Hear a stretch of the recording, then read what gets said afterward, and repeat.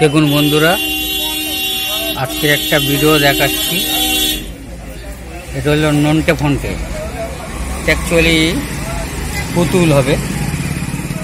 এই নন্টে ফোনটাকে আপনাদের এইরকম আছে পজিশনটা দেখুন এরকমই রং করা। এটা আমি গত বছরও করেছিলাম।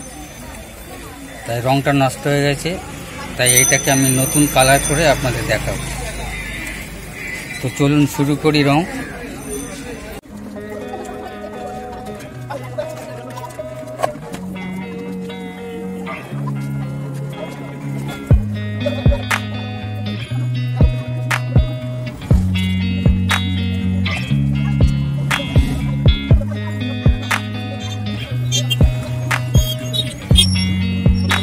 Thank